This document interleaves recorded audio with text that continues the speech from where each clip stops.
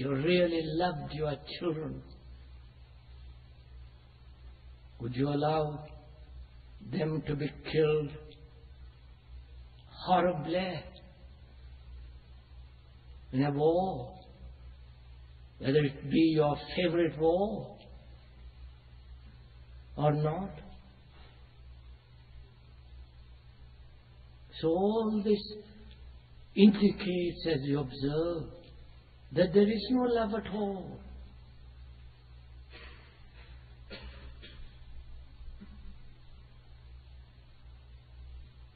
Love isn't sentiment. Love isn't emotional nonsense. And above all, love isn't pleasure.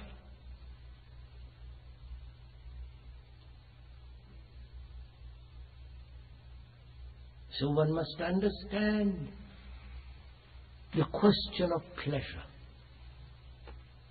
Because for us, love, sex, and pleasure are involved. When we talk about love, there is not only the love of God, whatever that may mean, and I don't think it has any meaning, even to the churchman. Because there too, they are in conflict with their ambitions, with their desires, with their powers, with their possessions, with their gods, with their beliefs and rituals.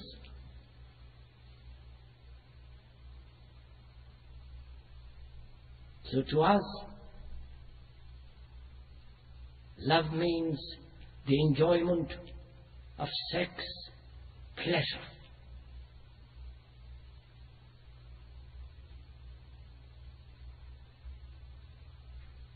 And also it involves in love pain, torture. So we're going to find out what pleasure means. And please bear in mind that we are not denying pleasure to see those lovely mountains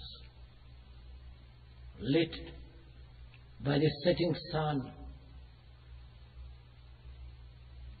to see those marvelous trees that have withstood the fire, the dust of many months, washed clean by the sun, by the rain. To see the stars, if you ever see the stars, is great pleasure. But we, that is not to us pleasure. What we are concerned is pleasure, sensuous pleasure, and the pleasure that we derive from something intellectual, emotional, and so on. So we have to consider this question. What is pleasure? And please bear in mind that the speaker is, is not denying pleasure. But we're trying to understand it. Go behind the word. Pleasure, like fear, is engendered by thought.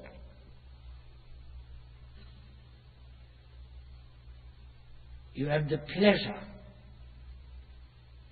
You have an experience of yesterday as you stood on the in one of those valleys that are still, looking at all the marvel of the hills and the silence. There was great delight and pleasure at the moment.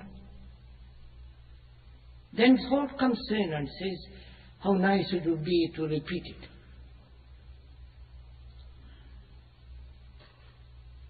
Thinking about that experience of yesterday, whether it be the looking at the lovely tree and the sky and the hills, or thinking about the sex that you enjoyed last night, is a pleasure. Thought, thinking about that which gave a delight Yesterday, thinking about it, living with it in thought, in image, is the beginning of pleasure. And thinking about what might happen, the pleasure being denied tomorrow, might lose your job, there might be accident, ill health. Thinking about it, that is, the, the pain, the ill health, the accident, is fear. So thought creates both fear and pleasure. And to us, love is thought. Please follow this. Because love to us is pleasure. Pleasure is the outcome of thought nourished by thought. Perhaps not at the moment, at the actual moment of seeing the sunset or the sexual act, but thinking about it. That is pleasure. So to us, love is engendered by thought nourished by thought, sustained and prolonged as pleasure by thought. Which again, when you look very closely, is an obvious fact, not to be denied. And so, on us is love thought. Can thought cultivate love? Or can it cultivate pleasure? It can cultivate pleasure, but it cannot possibly, under any circumstances, cultivate love any than thought can cultivate humility.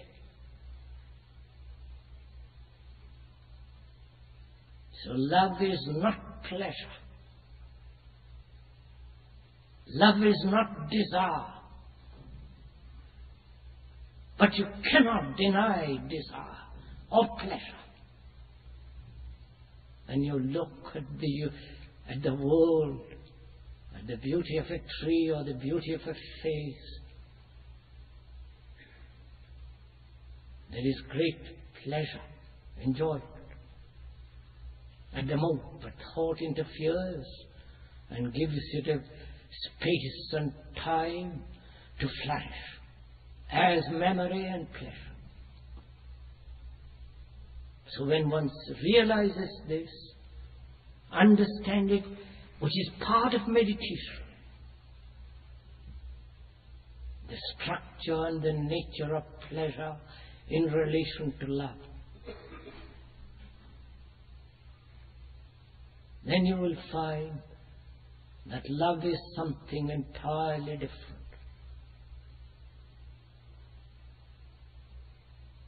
Then you will really love your children.